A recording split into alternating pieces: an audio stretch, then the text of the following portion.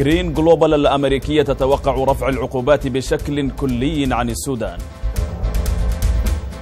رئيس الوزراء يؤكد حرص السودان على توفير كافة التسهيلات للمستثمرين العرب. الذهب يستقر فوق 1250 دولار قبل نشر محاضر اجتماع المركزي الأمريكي.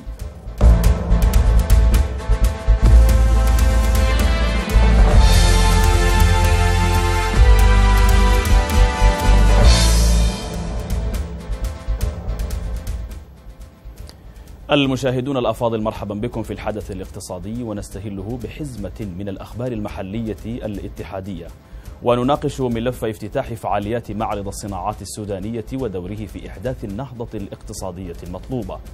نقدم بعده طائفة من أخبار الولايات ونعرض قضية خطورة تدهور التربة والموارد الطبيعية الزراعية في المناطق الجافة بسبب التصحر. ونختم بحزمتين من الأخبار الإقليمية والعالمية. فابقوا معنا.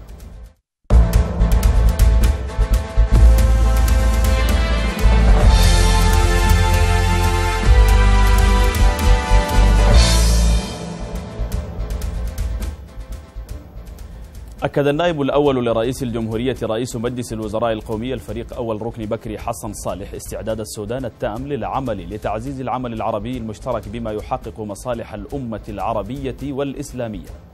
ولفت لدى لقائه اليوم بالقصر الجمهورية السفراء العرب المعتمدين لدى الخرطوم إلى حرص السودان على توفير كافة التسهيلات والضمانات اللازمة للمستثمرين العرب بما يدفع بمبادرة رئيس الجمهورية لتحقيق الأمن الغذائي العربي إلى الأمام.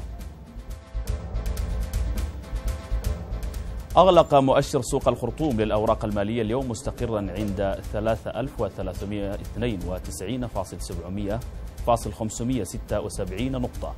مقارنة بتداول اليوم مع أمس فقد ارتفع حجم التداول إلى 2 مليون و999.168 جنيها إلى 23,295.795 جنيها بنسبة ارتفاع بلغت 67 676.8% وارتفع عدد الأوراق المالية المتداولة من 5 فاصل 787 إلى 44.774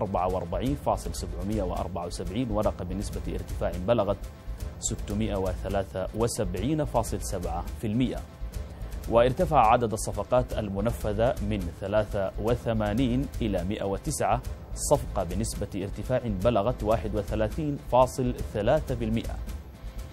وشهدت حركة الأسعار في القطاعات المكونة المكونة لسوق الأسهم غيابا تاما عن تداولات اليوم.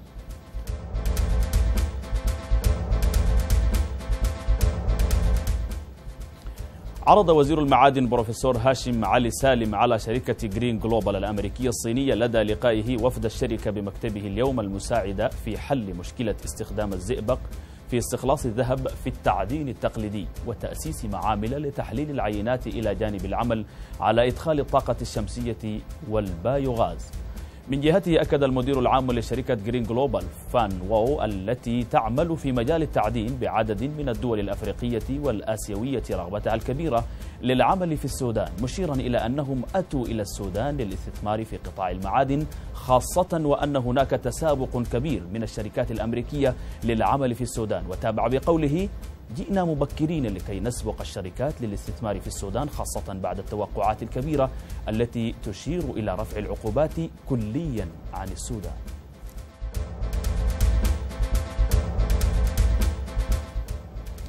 أشاد وزير الثروة الحيوانية الأستاذ بشارة جمعة أرور بأهمية دور الاتحاد البيطري في ترقية وتطوير المهن البيطرية في السودان وقال لدى لقائه التعريفي التنويري بالاتحاد العام للأطباء البيطريين اليوم بمكتبه وذلك في إطار معرفة الأعباء والمهام التي تأتي على قدر التحدي نحو الاتجاه السليم والقوة الدافعة لتحقيق برامج الوزارة.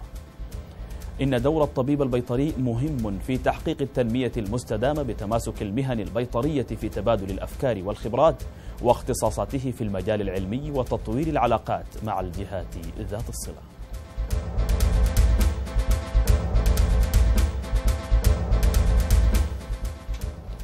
توجه وزير التعاون الدولي الأستاذ إدريس سليمان اليوم إلى جيبوتي مترأسا وفد السودان المشارك في سمينار مجلس الدول الأفريقية الباسيفيكية الذي سينعقد في العاصمة جيبوتي غدا الخميس بمشاركة الدول الأعضاء وممثلي السكرتارية الاتحادية السكرتارية والاتحاد الأفريقي. وسيتم في الاجتماع مناقشة العديد من الموضوعات أهمها مستقبل الشراكة الأفريقية الباسيفيكية مع الاتحاد الأوروبي بعد 2020 وعلى, وعلى هامش الاجتماعات سيلتقي وزير التعاون الدولي بمسؤول شؤون الدول الأفريقية بالمفوضية الأوروبية ببروكسل وذلك لمناقشة سبل التعاون بين السودان والاتحاد الأوروبي.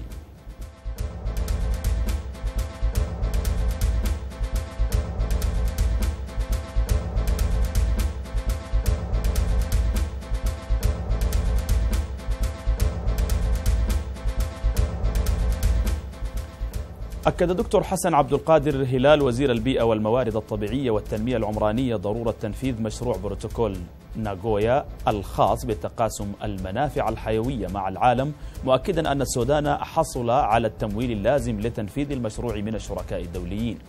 وأوضح وزير البيئة لدى مخاطبته اليوم بقاعة المجلس الوطني ورشة عمل تقاسم المنافع وبناء القدرات المؤسسية والتشريعية لتنفيذ بروتوكول ناغويا التي نظمها المجلس الأعلى للبيئة. أوضح أن المشروع أصبح الآن قيد التنفيذ من أجل تقاسم الموارد الحيوية والحفاظ عليها موضحا أهمية اتباع نهج سياسة مد جسور التعاون مع الدول الأخرى من خلال الاتفاقيات.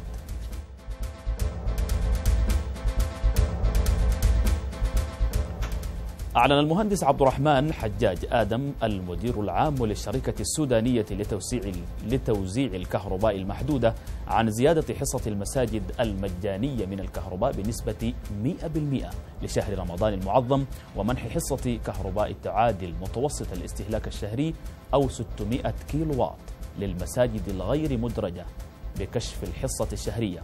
وأضاف أن الحصة يتم استلامها من مكاتب شركة التوزيع التي تتبع لها دور العبادة جغرافياً.